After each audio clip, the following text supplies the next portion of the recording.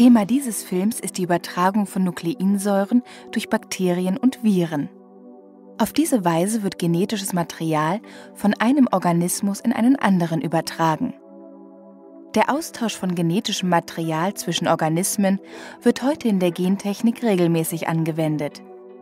Allerdings kommt ein solcher Gentransfer nicht nur im Labor, sondern auch in der Natur vor. Dies geht aus unterschiedlichen Experimenten von Griffith und Avery hervor. Ab hier sehen Sie den Film im Schnelldurchlauf. Im Original haben die neu und hochwertig produzierten Schulfilme eine Länge von drei bis zehn Minuten. Die wichtigsten Aspekte jedes Themas werden speziell für den Einsatz im modernen Schulunterricht anschaulich aufbereitet. Die Inhalte entsprechen den Vorgaben der aktuellen deutschen Lehrpläne